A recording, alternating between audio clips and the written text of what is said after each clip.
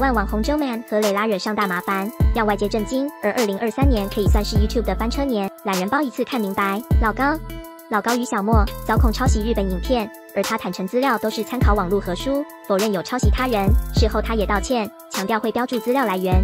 蔡阿嘎，蔡阿嘎去日本玩，因为拍日本五家地雷连锁店影片遭延上，连日媒都有关注此事。事后他也道歉，接受大家的批评和指教。朱学恒。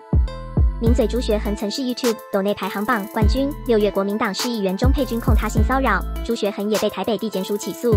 超派，超哥旗下的超派炸鸡店被 Toys 爆疑似偷盗废油，双方展开舌战，之后道歉和好。流氓，流氓遭到平面摄影师和厂商指控，他私下很难搞又爱迟到。流氓也道歉，而负面新闻让他的许多案子都飞了，损失估一千万元，也流失部分粉丝。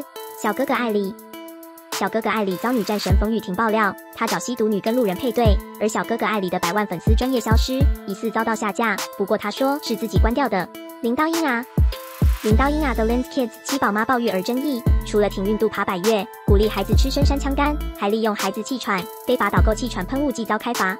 人生肥宅 X 孙，百万 YouTuber 人生肥宅 X 孙遭爆叶配手游作假。孙也道歉，他当初草率接案之后才知道游戏把关有问题，他要向大家道歉，请厂商撤掉广告。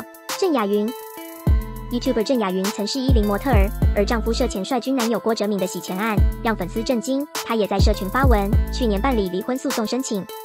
韩沟 A 金针菇，韩国 A 金针菇推出超商联名食品，却被民众发现里面有加糖精钠盐，品牌方也道歉，并全额退款给消费者。